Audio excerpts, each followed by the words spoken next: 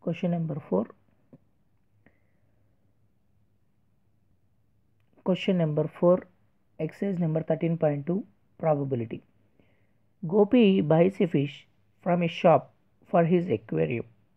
The shopkeeper takes out one fish at random from a tank containing five male fish and eight female fish. What is the probability that the fish taken out is a male fish?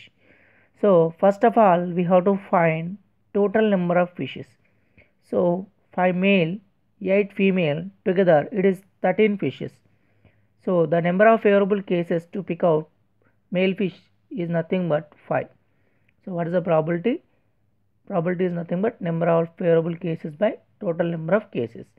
So, 5 by 13. So, in the question it is given that in an aquarium there are 5 male and 8 female fishes. We have to find the probability of getting a male fish. Solution. First step you find out total number of fishes. Total number of fishes that is equal to 5 male plus 8 female is nothing but 13 fishes.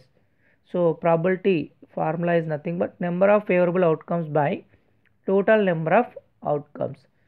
So number of favorable outcomes to pick up a male fish is 5. Total number of outcomes are 13. So the answer is 5 by 13.